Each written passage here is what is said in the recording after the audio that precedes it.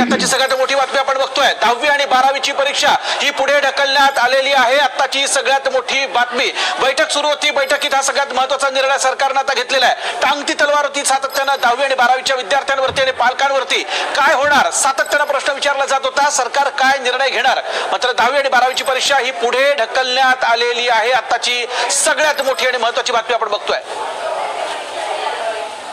वर्षा गायकवाड या संदर्भात नेमकं काय म्हणाल्यात एकदा ऐकूयात. नमस्कार.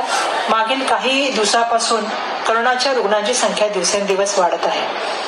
दहावी आणि बारावी हा प्रत्येक विद्यार्थ्याच्या जीवनामधला महत्त्वाचा टप्पा आहे. अगोदरच अभ्यासाचा तणाव त्यातच रुग्णांची वाढणारी संख्या हाही एक मोठा चिंतेचा विषय झालेला आहे. अशा परिस्थितीमध्ये परीक्षा कशी द्यायची हा सर्वांसमोर महत्त्वाचा प्रश्न आहे.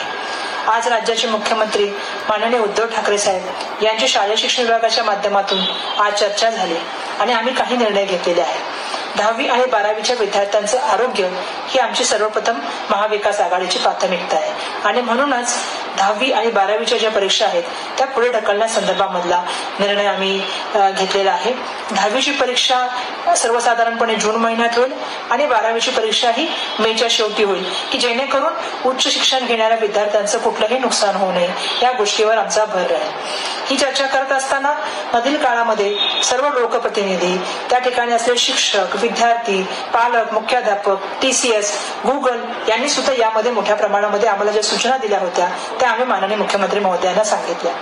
या व्यतिरिक्त जे इतरही बोर्ड आहेत त्या बोर्डांना सुद्धा आम्ही सांगणार आहोत की राज्य शासनाच्या बोर्डाने जो निर्णय घेतलेला आहे तो आपण इतर बोर्डाने स्वीकारावा असं सुद्धा आता या ठिकाणी त्यांना सांगण्यात येईल हे मी आपल्याला नम्रपणे नमूद करू इच्छिते. धन्यवाद.